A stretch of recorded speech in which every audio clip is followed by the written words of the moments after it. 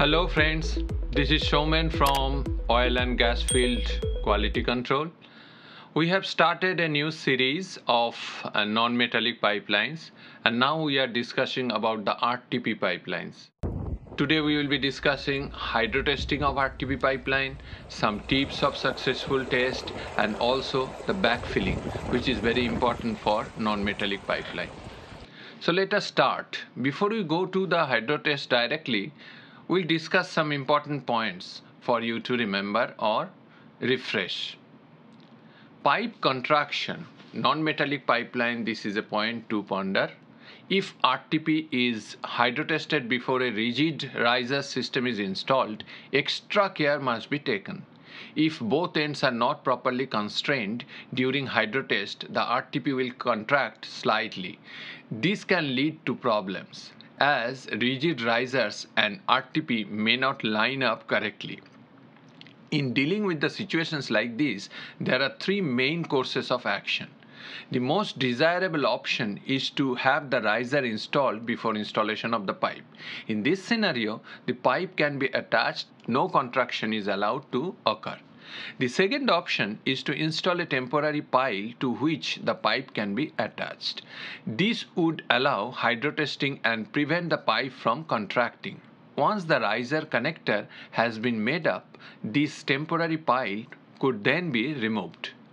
The final option would be to wait until the hydrotest is complete to mark the location of the rise. In this way, the riser can be made up to the contracted position of the pipe. Under no circumstances should field personnel attempt to stretch the pipe. Please remember, to properly secure the pipe at points where it exits the conduit pipeline. With relatively little friction between line pipe and the conduit, contraction is also likely to occur at these points. Now we will be entering into hydrotest. All RTP line pipe is tested at 1.5 times rated operating pressure before being shipped in the factory and by following installation procedure properly. A first time successful field test should be the routine result. However, the field test is the last line of defense, the point at which anything that slips through the net should be caught before it becomes a damaging service failure. When field test procedures are adhered to and a successful test is achieved, service failure is very rare. Filling. The system should be filled by pumping a pig, poly or squeezy, in front of the fluid to help force the air out of the system. In systems containing tees and branches, it may not be suitable to use a pig as the pig may get caught in one of the side branches.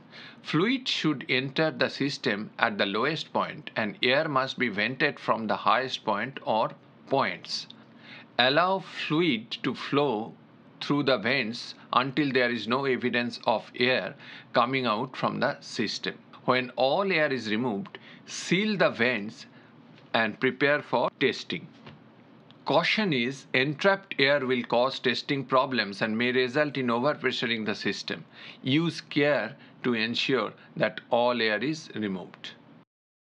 If you follow these steps, which I am going to discuss now, will guarantee a safe test, demonstrate whether leaks are due to pipe problem or a backfill problem and prevent problems from shrinkage stress that takes place when pressure exceeds the pipe's rated pressure. If requested, a RTR representative can be present during the test from the manufacturer. The pipe should be backfilled as completely as possible, leaving only the connectors exposed. This is done for two reasons.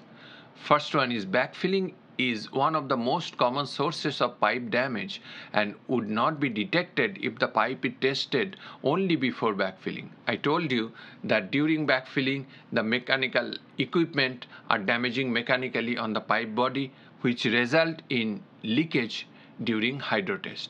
This is also from my experience. RTP line pipe will contract in length at pressures above normal rated pressure and backfilling will prevent any movement.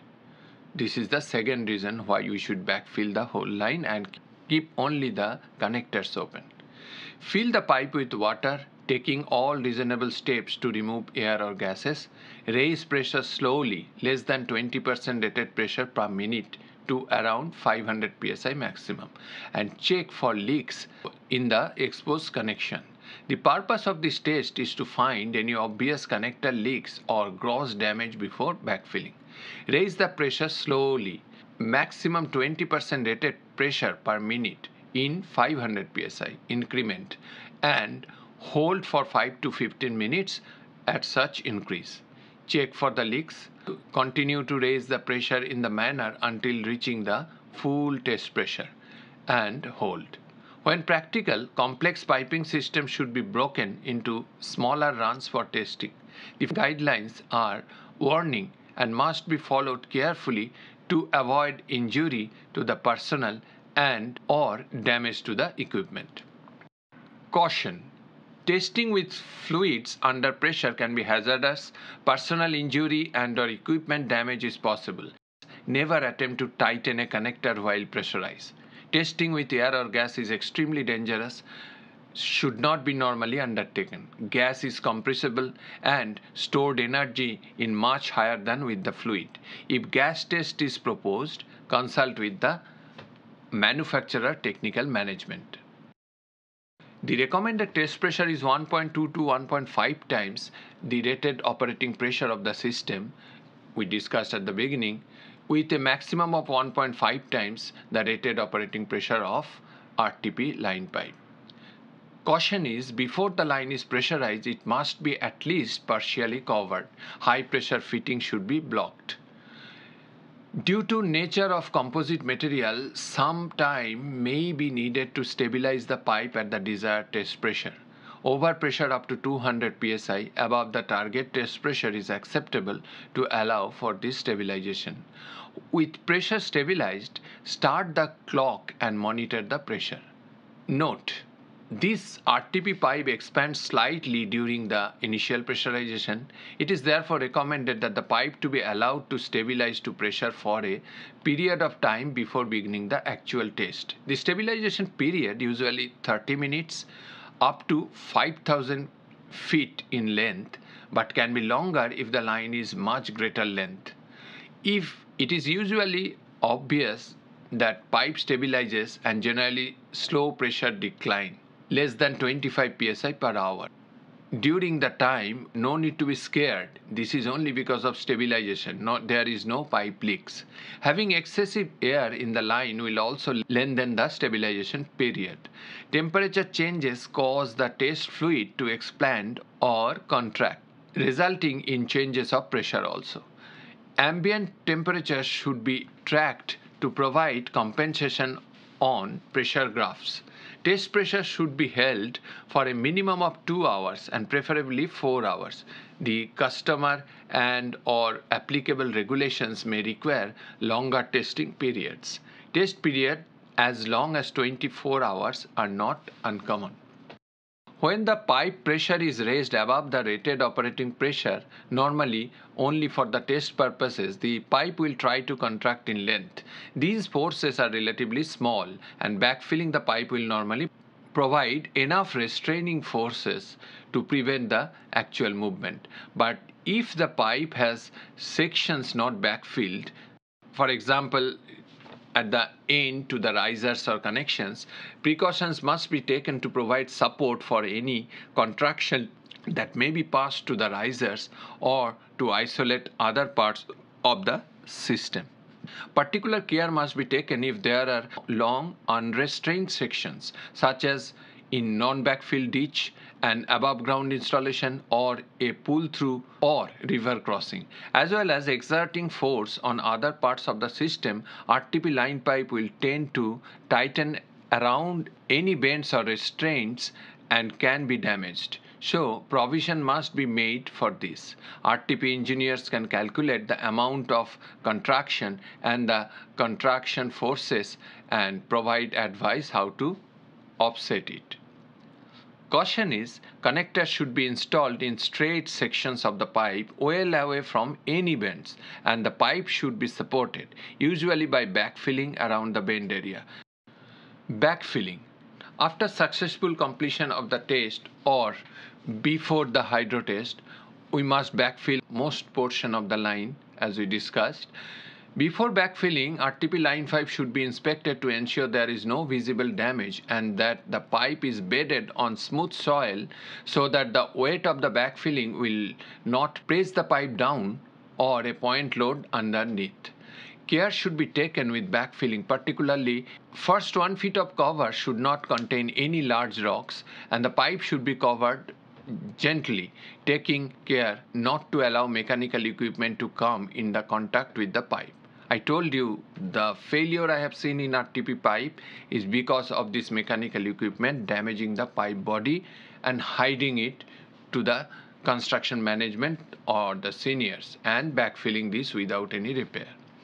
Large rocks, large pieces of frozen soil and tree trunks can be used once a reasonable cover over the pipe is achieved. Tracer wire. Tracer wire or tape should be used to allow easy location of the pipe in future. Regulations in some areas, usually areas where ground lightning strikes are common, dictate that the tracer wire should be located in the ditch above 6 inch above the pipe and continuous contact with the pipe should be avoided. RTP manufacturer can supply the tracer wire if requested. Static discharge RTP line pipe is an electrical insulator and in applications that involve transport of nonpolar fluids such as dry gas, liquid fuels or pure hydrocarbons, especially at high velocities, a static charge may be generated on pipe surfaces.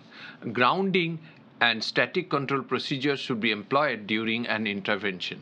Static electric discharge can ignite a flammable gas or a combustible atmosphere. In RTP line pipe application involving transport of wet gases or liquid or multi-phase flow containing water, no significant static charge is generated on the pipe surface. Now, in case we find any repair of RTP section, we generally replace the pipe section with a new one and new connectors will be connected together. It is as simple as that. So repairing the portion of the RTP got leaked during hydro test is not possible. At this moment, the only repairing is cut out the damaged portion after identifying the area from where the leak is revealed and replace with a new good section. Since our channel is for quality and inspection, documentation is a vital part. Let us see what kind of documentation we are generally maintaining for RTP pipeline. A RTP certified installer will complete the job specification documentation like job safety analysis. This is part of safety but very important. He will conduct daily tailgate meetings or toolbox meeting to address all aspects of safety specific installation. This information will be documented. There is a job log. RTP representative will document a job log contains the date of installation including foot markers, serial numbers of pipe installed, connector locations, a chronological account of activities and other pertinent information. Quality checklists and joint map or hydrotest package, final reinstatement, these are all important documentation. It documents major steps, inspection and hold points in the installation process and is signed by RTP technician and customer representative. So like uh, metallic pipeline, here we also have a database, but this is not a weld database. It will be a joint database, the number of joints and for better traceability, we will also mention the RTP pipe number connected. So in case there is a repair, we can mention the kilometer and the pipe number to have a specific location for this. Thank you guys. That's end of the video today. Another one video maybe we'll be completing the RTP, then we'll go for RTR. Signing off, Showman.